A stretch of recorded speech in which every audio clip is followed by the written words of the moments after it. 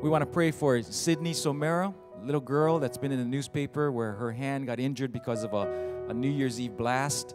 You know, she's part of New Hope. Her family is a part of New Hope. And she's a goalie at in our New Hope Flyers inline hockey team. And she really wants to play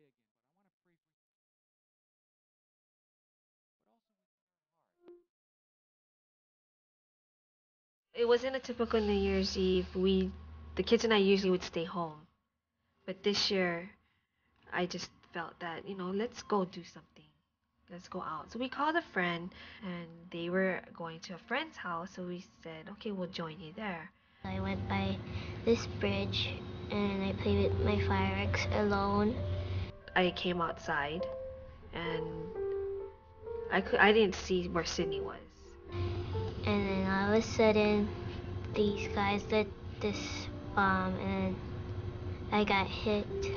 We heard this explosion and it seemed a little different from the rest of the explosions that went on that night because it just seemed louder and things were flying all over the place. Next thing I know, she's, she came running to me and she was covered in blood and sand and every, I mean, her, she, was, she had blood all over the place.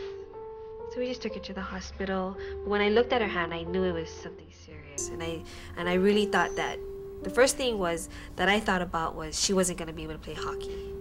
And that was her goal.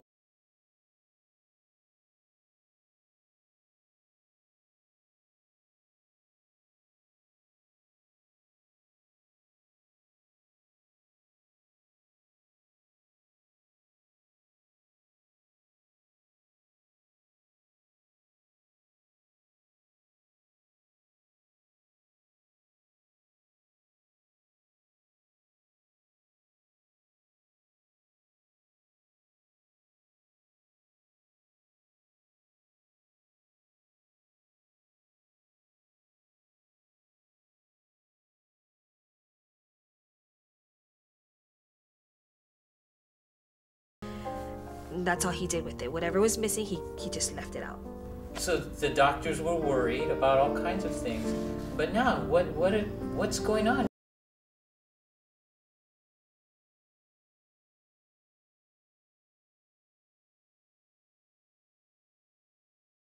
In three months, and she's, you know, doing really well. There's a lot of people, yeah, from New Hope that came and prayed for her.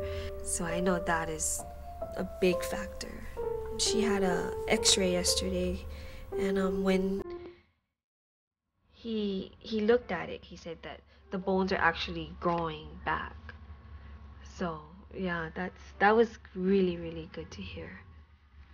Only God can do something like that.